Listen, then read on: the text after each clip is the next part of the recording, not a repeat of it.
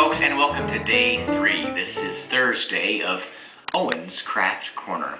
The big finale is right now for your chance to win tickets to go and enjoy the Affair of the Heart. Congratulations once again to our winner who got it right.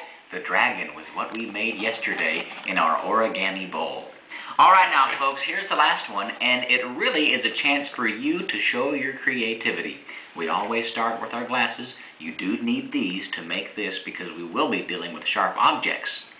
And the most important ingredient today, a Hershey's chocolate bar. Make sure you can find one at your local store, get a hold of it, and make this a part of your ingredient for today and your own creativity. We have that supplied here.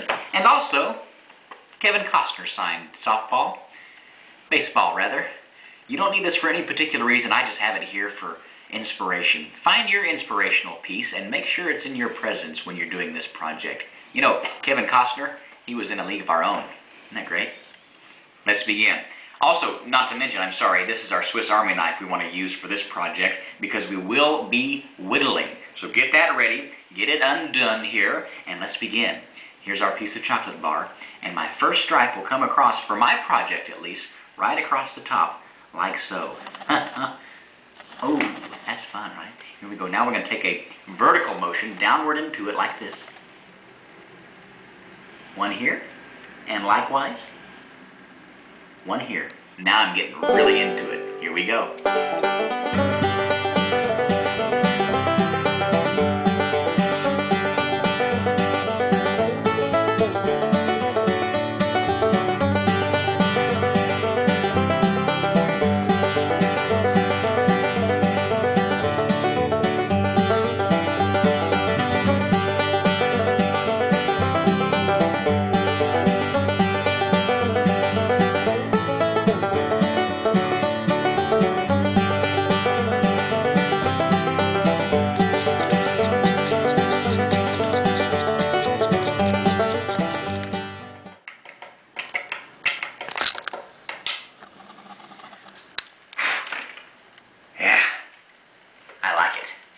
As you can see, with a little bit of luck and a lot of chocolate and a good time, we made ourselves an elephant.